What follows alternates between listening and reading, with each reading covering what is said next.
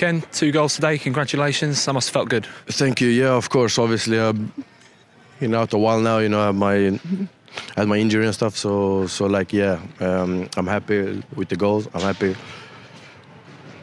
with the win today as well.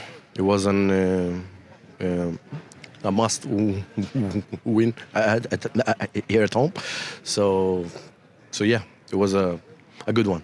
Can you talk us through your, your first goal, getting on the end of Keinan Davis' shot? Um, obviously, yeah, yeah, he had like a hit on target on the keeper, and then I was just there, you know, uh, and he just was like right on my foot, and I just uh, smashed it onto the goal. Um, it was an easy one, uh, so so yeah, I'm happy with it. How good did it feel as well to celebrate in front of the supporters as well after, as you mentioned, your injury? Yeah, obviously it was amazing. I, you know, after a while, you know, we're um, on my rehab and stuff. I uh, I did everything I could to, to like come back here stronger and uh, and yeah, and um, scoring today, a win today, feels good, obviously.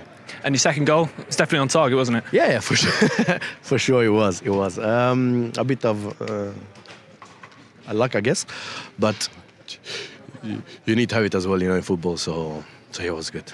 We didn't always play amazing today, but how important will this win now going into you know more important games like Sheffield United? Very, very important one. Now you know, like a win at home, important confidence as well. You know, and now against a uh, strong, strong him as well.